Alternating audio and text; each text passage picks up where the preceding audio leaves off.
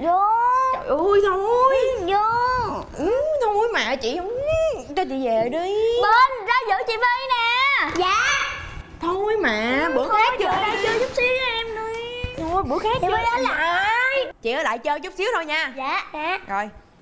Tối nay chị ngủ lại đây nha. Rồi Chị ơi, tự nhiên chị có nhà bắt chị ngủ lại đây làm chi? Thì chị ngủ lại ở đây với tụi em đi Ngủ lại ở đây vui lắm á. Thôi Các em với Bình nè.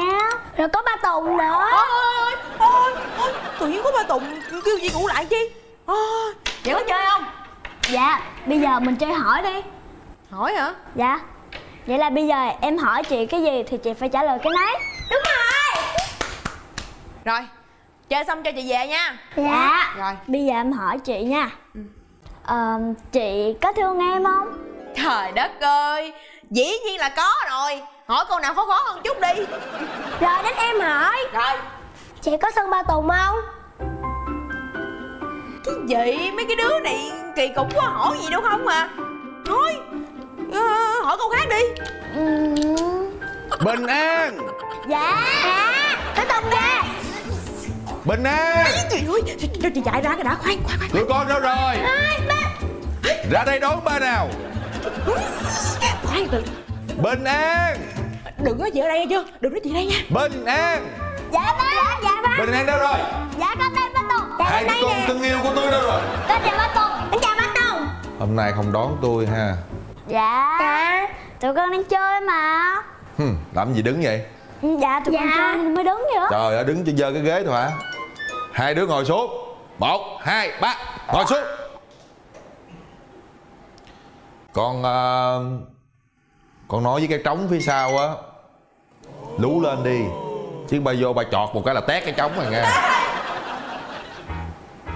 Tự nhiên làm gì vô nhà núp vậy? Chơi.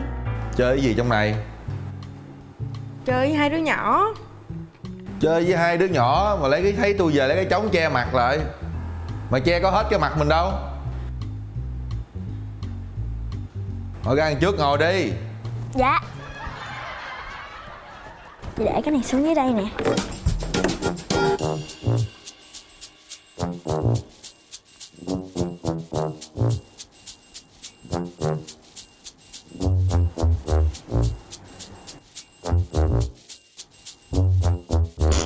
Ai à? Nó đó.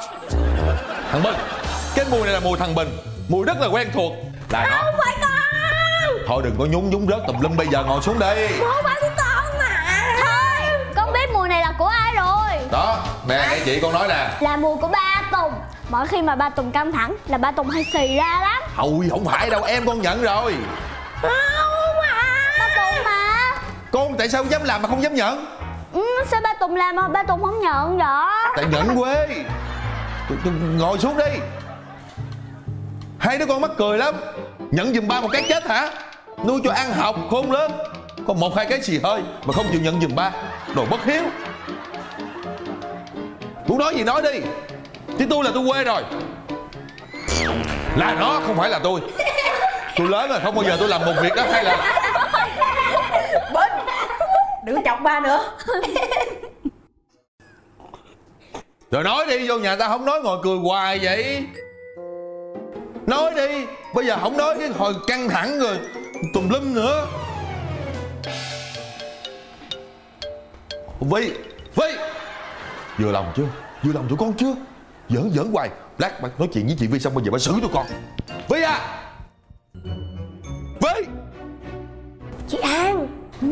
Chắc chị Vi với ba Tùng có chuyện đó. Chuyện gì? Chị không biết luôn hả? Không. Chị Vi với ba Tùng thích nhau. Không phải. Ba Tùng với chị Vi yêu nhau